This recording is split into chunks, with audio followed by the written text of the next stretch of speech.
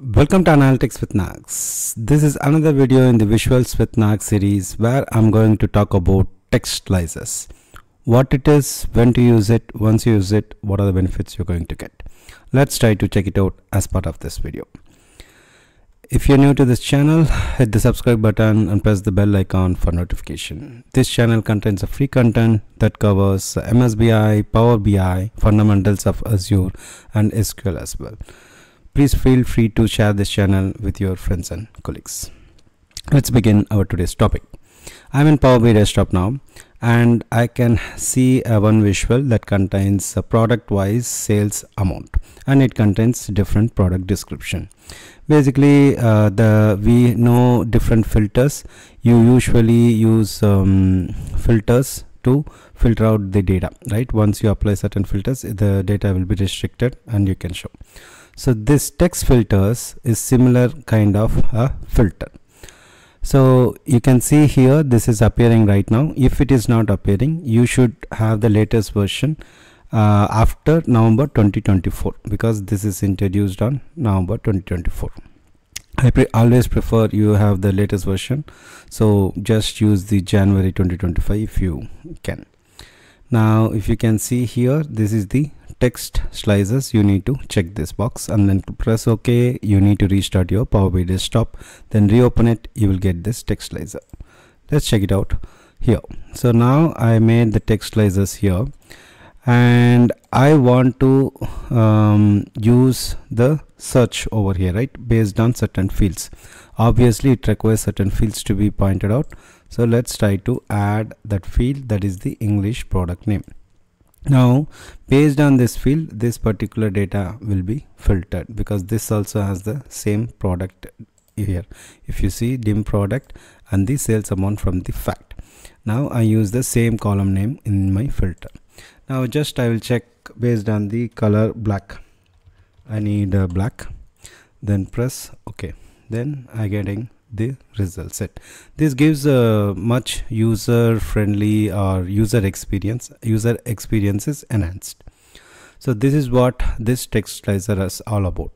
I want to uh, take to the next level like how I can have multiple search criterias right?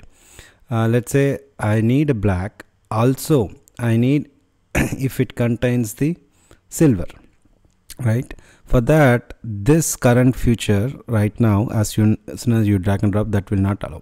For that you need to enable the slicer settings to accept multiple values. So once you press it is resetted now. Again you need to type as I typed before black then press enter. Then it will allow me to enter multiple values right now it is showing only for whichever has a black anywhere from the beginning. It, it is acts like a contains right? Then you press silver.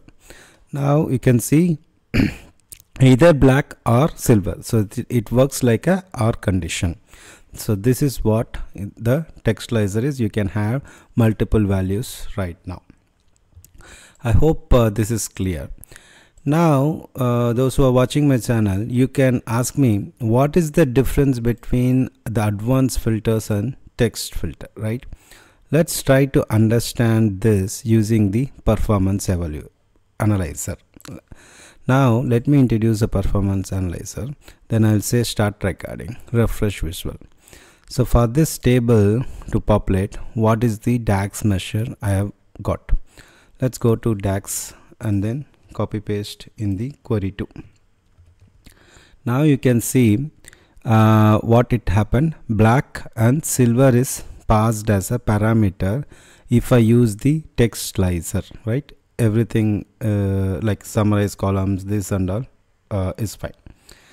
Now I, I just want to ignore this text slicer right?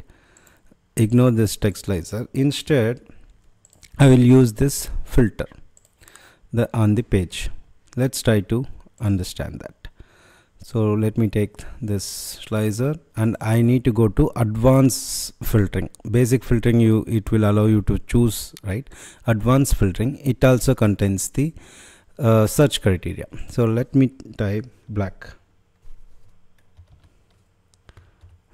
And then I press R condition say contains silver. This time I'll put just silver to differentiate the previous and current condition. Let me press apply.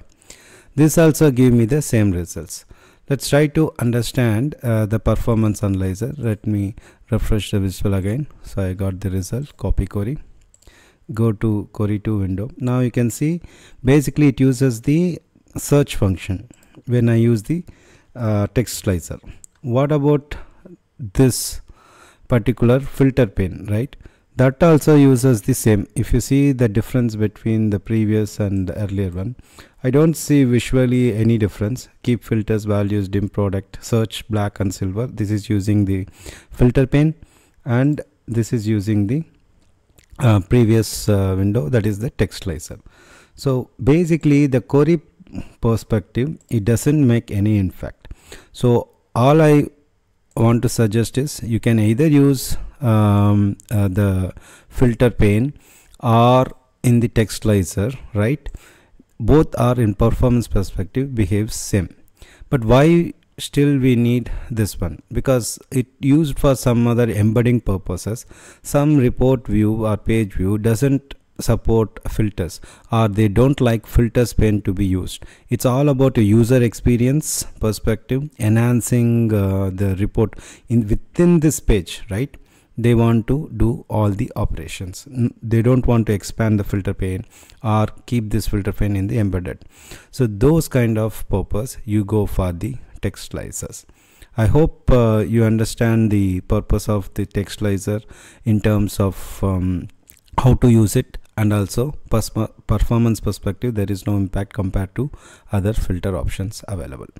If you like this video hit the thumbs up button and comment below for queries. And do remember that data is your asset